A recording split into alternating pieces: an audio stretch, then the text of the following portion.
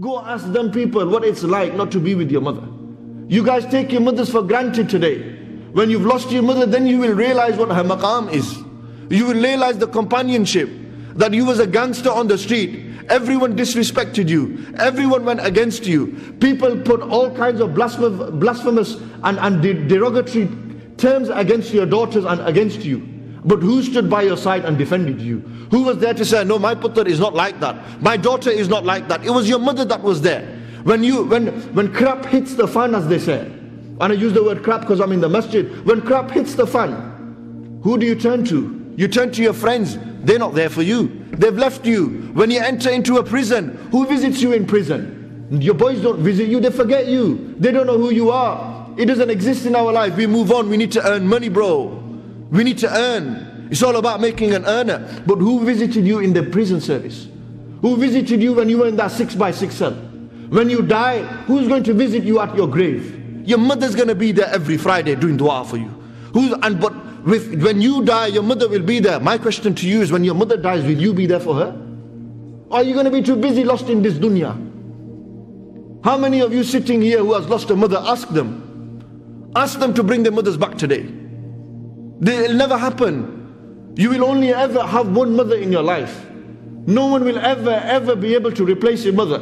No matter how great, how big you become in society, your mother is the greatest thing that has ever been given to a man, is the mother. And I tell you this because I've had to sacrifice my mother. I've had to give up my mother. And I have to ring her on the way here. And I have to say, Mom, do dua for me. I've got a speech in Sheffield. Yet you got mothers at home, but you disrespect them. You got mothers at home and they mean nothing to you. Ask Qasim. Ask Qasim where his mother is. She's passed away.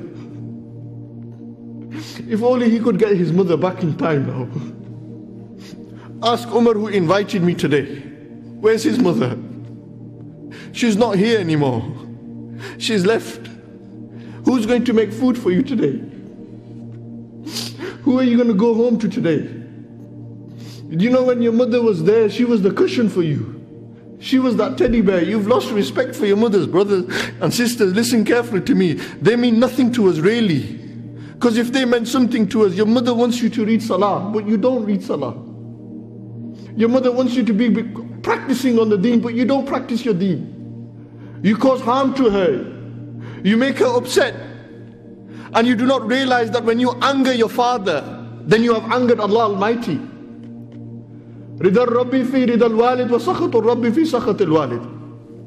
That the, the pleasure of Allah Almighty lies with the pleasure of, of, of, his, of the father.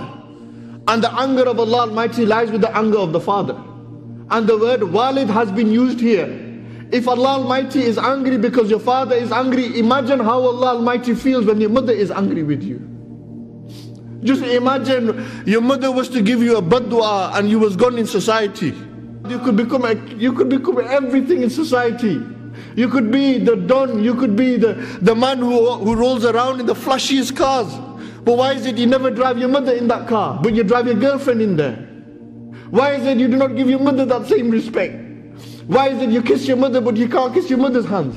Why is it you kiss your girlfriend and you can't kiss your mother? Because what is it too low for you?